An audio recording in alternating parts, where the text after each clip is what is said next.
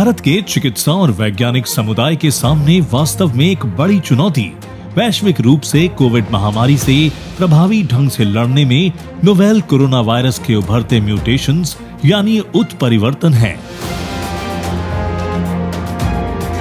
जिस दिन से महामारी शुरू हुई है, इस वायरस में हज़ारों उत्परिवर्तन हुए हैं और दुनिया के कुछ हिस्सों में इनमें से कुछ उत्परिवर्तन अधिक संक्रामक हो गए हैं। वायरस के इन परिवर्तित रूपों को म्यूटेंट या वेरिएंट भी कहा जाता है। कोरोना वायरस का ये वेरिएंट दुनिया भर में कोविड 19 के केसों में नए उछाल ला रहा है।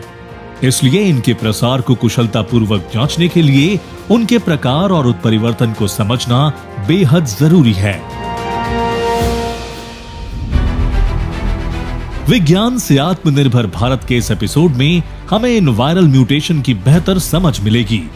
हम ये भी देखेंगे कि भारत कैसे वायरल म्यूटेशन को ट्रैक और ट्रेस करने की एक कुशल और प्रभावी प्रणाली बनाने के लिए अनुसंधान प्रयोगशालाओं का एक मज़बूत नेटवर्क बना रहा है, जो एक आत्मनिर्भर भारत के निर्माण में विज्ञान का लाभ उठाने की एक महत्वपूर्ण पहल है।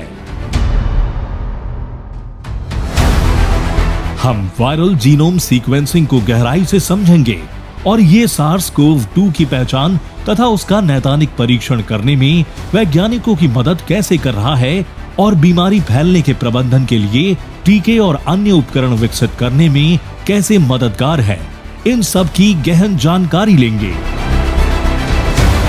अंत में हम हैदराबाद स्थित दवा कंपनी बायोलॉजिकल ई द्वारा विकसित की जा रही नई स्वदेशी कोविड वैक्सीन कोर्बेवैक्स पर एक नज़र डालेंगे और ये भी समझेंगे कि भारत सरकार ने इस कंपनी को 30 करोड़ वैक्सीन बनाने का अग्रिम आदेश क्यों दिया है?